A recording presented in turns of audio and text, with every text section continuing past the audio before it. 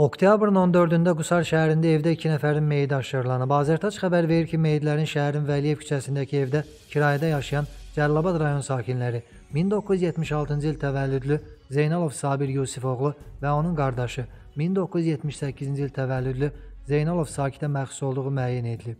Onların kiçik qardaşı 43 yaşlı Şamil Zeynalov isə ağır vəziyyətdə Qusar rayon mərkəzi xəstəxanasına çatdırılıb. Vəziyyəti orta ağır kimi qiymətləndirilən Şamil Zeynalova naməlum mənşəli zəhərlənmə diaqnozu qoyulub. Qardaşların qidadan və ya dəm qazından zəhərlənməsi ehtimal olunur. İlkin məlumatlarda ölənlərin göbələkdən zəhərləndiyi bildirilsə də, hüquq mühafizə orqanlarının evdə apardığı araşdırma zamanı bu məhsulun qalıqları tapılmayıb. Baş vermiş faktla bağlı araşdırma tədbirləri davam etdirilir. Əlavə məlumatlar veriləcək.